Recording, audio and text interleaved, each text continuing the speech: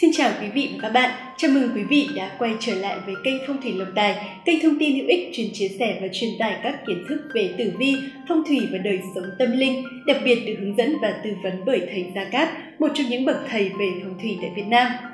Quý vị thân mến, tỷ hưu là linh vật vô cùng mạnh mẽ, mang lại điều thiện, tốt lành có nguồn gốc từ Trung Quốc. Tỷ hưu trong phong thủy được mệnh danh là cát phù, sức khỏe, bình an, là một trong những vật phẩm phong thủy rất được ưa chuộng và rất phổ biến ở các nước Đông Á. Vậy chắc hẳn mọi người đều có thể trả lời các câu hỏi như tỷ hưu là gì, tỷ hưu trong phong thủy có đặc điểm gì, nguồn gốc và ý nghĩa của tỷ hưu là như thế nào. Tuy nhiên, có một điều chắc chắn nhiều người không biết, đó là vấn đề những ai không được sử dụng tỷ hưu trong phong thủy. Có một số người nếu vô tình sử dụng tỷ hưu sẽ khiến cho tiền bạc tiêu tan, vận xui luôn đeo bám, thậm chí là sức khỏe cũng giảm sút đi một cách trầm trọng. Vậy những người như thế nào thì tuyệt đối không được dùng tỷ hưu trong phong thủy? Kính mời quý vị và các bạn sẽ cùng đón xem trong chương trình ngày hôm nay. Trước khi đến với nội dung chi tiết, quý vị đừng quên bấm like, đăng ký kênh và nhấn chuông để có thể nhận được những thông báo mới nhất tới từ kênh Phong thủy Lộc Tài và có thể biết thêm những thông tin hữu ích hơn.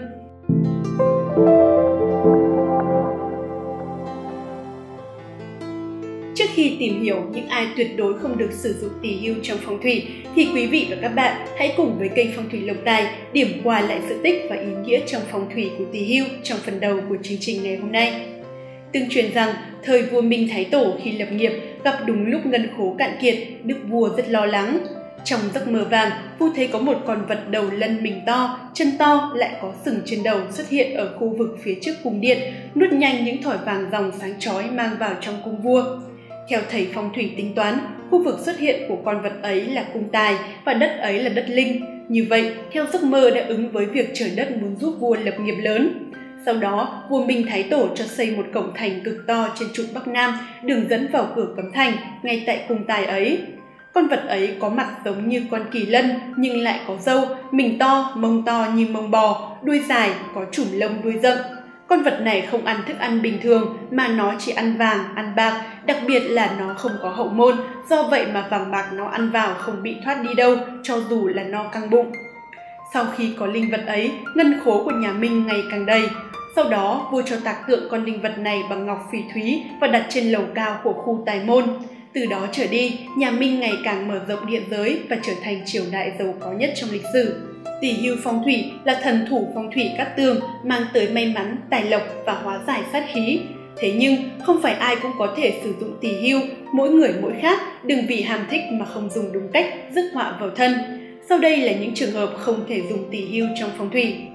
Tỷ hưu là loài chuyên ăn vàng bạc châu báu, ăn vào mà không thoát ra được, nên tỷ hưu được xem như linh vật phong thủy chiều tài giữ lộc luôn được ưu tiên nhiều nhất. Đối với đa số người làm kinh doanh gặp khó khăn bởi thiếu khách, dòng tiền thất thoát, hụt hợp đồng, tỷ hưu giúp ổn định tài chính, kinh doanh có lời, giảm thất thoát tiền bạc. Với những bạn làm công ăn lương, thường xuyên gặp bất lợi trong công việc, bị đồng nghiệp chơi xấu, khó thăng tiến, tỷ hưu sẽ giúp đẩy lùi những năng lượng xấu, bảo vệ chủ nhân và mang lại thuận lợi về tiền tài, cơ hội phát triển.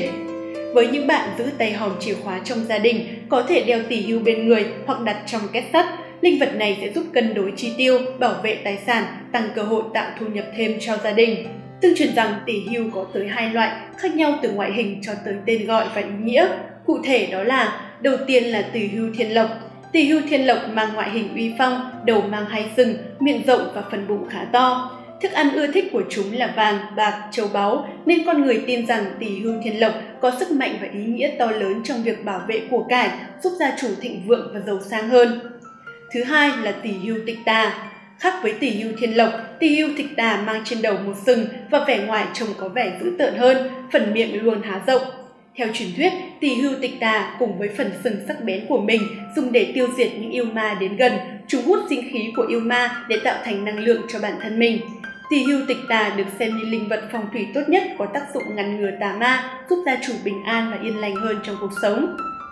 Ở phần đầu tiên của chương trình, kênh Phong thủy Lộc Tài đã giới thiệu cho quý vị chi tiết về ý nghĩa, phân loại các loại tỷ hưu. Có thể thấy rằng tỷ hưu là một biểu tượng vô cùng ý nghĩa trong phong thủy. Tuy nhiên, không phải bất cứ ai mang theo tỷ hưu bên người là sẽ có lộc. Đối với một số người, tỷ hưu lại vô tình trở thành trở ngại đối với cuộc sống. Vậy những ai không thể sử dụng tỷ hưu trong phong thủy, hãy cùng với kênh Phong thủy Lộc Tài tìm hiểu trong phần tiếp theo của chương trình. Thứ nhất, những người khí nhược chứng khí hư thì không thích hợp đeo tỷ hưu. Những người khí nhược, chứng khí hư không thích hợp đeo tỷ hưu vì tỷ hưu thuộc loại thủy thú uy mãnh, người yếu nhược đeo sẽ không thể trấn áp được mà còn bị tỷ hưu trấn áp lại, rất không tốt cho sức khỏe, đặc biệt là đối với người già, trẻ nhỏ thì lại càng cần phải tránh. Thứ hai là phụ nữ mang thai. Phụ nữ mang thai dù không thích hợp đeo tỷ hưu vì dù là cát thú nhưng nó cũng mang sát khí, có thể tránh ma đuổi quỷ nhưng tự thân cũng mang lại điểm không lành nên rất dễ làm hại tới thai nhi trong bụng. Thứ ba, những người cầm tinh tuất dần mão đều không thích hợp để đeo tỷ hưu bên mình. Những người cầm tinh tuất dần mão không thích hợp để đeo tỷ hưu bên mình. Tỷ hưu là con trai thứ 9 của rồng mà từ xưa đến nay truyền rằng long hổ tranh đấu, người tuổi dần mang tỷ hưu thì cả hai hùng tranh đoạt mầm mống của tai họa. Còn tuổi tuất và tuổi mão thì dễ tương khắc nên cũng phải tránh. Thứ tư, phụ nữ đến kỳ kinh nguyệt không nên mang tỳ hưu. Phụ nữ đến kỳ kinh nguyệt không nên mang tỳ hưu vì thời điểm này trong cơ thể có sự bài trừ mà tỳ hưu lại chỉ vào chứ không ra. Theo phong thủy, tốt nhất là không nên mang tỳ hưu bên mình để tránh ứ huyết lại máu xấu trong cơ thể. Thứ năm, người bị bệnh táo bón. Người bị bệnh táo bón, đại tràng hoặc hệ tiêu hóa, bài tiết kém thì tránh dùng tỳ hưu vì linh thú này nuốt vạn vật mà không đào thải, mang theo thì bệnh tình sẽ càng trầm trọng hơn. Thứ sáu là những người làm điều xấu. Người làm điều xấu, vi phạm pháp luật thì đừng nên ham hố mà đeo tỳ hưu bởi vì đây là linh thú hộ chủ. Người tốt đeo lên thì càng tốt, người xấu mà dùng thì sẽ càng thêm xấu, thêm đổi bại, không thể quay đầu lại. Nếu còn muốn làm lại cuộc đời thì nên dùng đồ phong thủy khác chứ không nên dùng tỳ hưu. Thứ bảy, vợ chồng gần gũi thì không được đeo tỳ hưu phong thủy. Vợ chồng gần gũi thì không được đeo tỳ hưu phong thủy vì thần thú thích sạch sẽ, thuần khiết, phạm điều dung tục sẽ nổi giận mà gây họa. Vậy nên khi vợ chồng thân mật thì không nên đeo tỷ hưu, cũng không nên đặt tỷ hưu trong phòng ngủ. Quý vị thân mến, bên cạnh việc chú ý đến những người không được sử dụng tỷ hưu thì bạn cũng nên chú ý đến những điều kiêng kỵ khi đeo tỷ hưu bên mình. Xin mời quý vị và các bạn sẽ cùng theo dõi phần tiếp theo trong chương trình ngày hôm nay. Thứ nhất, tránh đụng vào mắt, mũi, miệng của tỷ hưu của người khác và đặc biệt là của mình vì người ta cho rằng như thế sẽ làm tỷ hưu bị mòn răng hoặc mở mắt, không thể hút được của cải nữa. Thứ hai, khi đi ngủ, đi vệ sinh hoặc vào phòng tắm thì nên tháo tỉ hưu ra nếu đeo trên người và nếu cất vào hộp ở những nơi thông thoáng.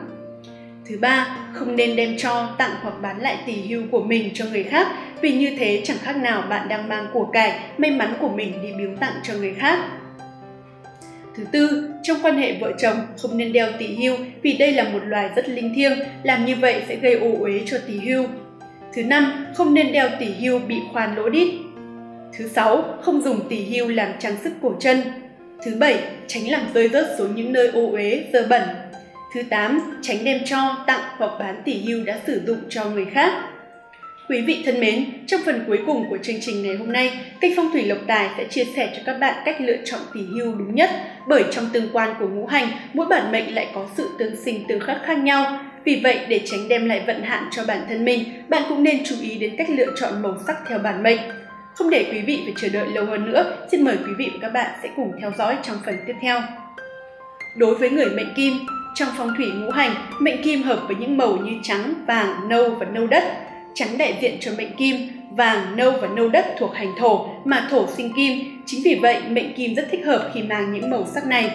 Khi chọn trang sức tỷ hưu, người mệnh kim cũng nên chọn tỷ hưu được làm bằng đá, bạch ngọc hoặc những loại đá có màu vàng, nâu, tránh chọn các loại màu hồng, màu đỏ đối với người mệnh mộc.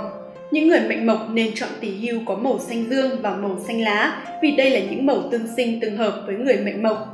Có thể chọn tỉ hưu làm bằng ngọc xanh hoặc đá có màu xanh, tránh chọn màu vàng, trắng vì đây là những màu thuộc hành kim sẽ khắc mộc.